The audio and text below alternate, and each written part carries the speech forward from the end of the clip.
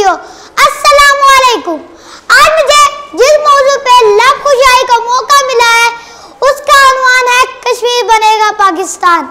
जनाब सदर, ये वही कश्मीर है जिसके खातिर माम ने अपने जिगर के टुकड़ों को लहू कर दिया, कश्मीरी बहनों को शहीद कर दिया गया। माँ को जंजीरों से बाँध कर घसीटा गया ये वही कश्मीर है जो कुछ साल पहले आबाद था अब वीरा है हर तरफ़ तहलका और खौफ है ए भारत तेरा आखिरी वक्त आया है दस्त दस्त दरिया भी ना छोड़े हमने दस्त दस्त दरिया भी ना छोड़े हमने। में घोड़े दौड़ा दिए हमने।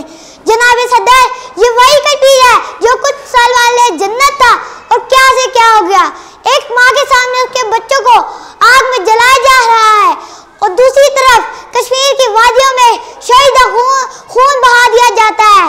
है, हर सबकी ज़ुबान पे एक ही नारा है। कश्मीर बनेगा पाकिस्तान आप भी मेरे साथ एक बार नारा लगाइए कश्मीर बनेगा पाकिस्तान हर जहाँ पर फूल खिलते हैं जहाँ पर बर्फ़ पड़ती है जहाँ चश्मे निकलते हैं जहाँ मजलूम रहते हैं चलो कश्मीर चलते हैं चलो कश्मीर चलते हैं कभी जो जन्नत दिखता था अब शमशान लगता है चलो कश्मीर चलते हैं चलो कश्मीर चलते हैं शुक्रिया।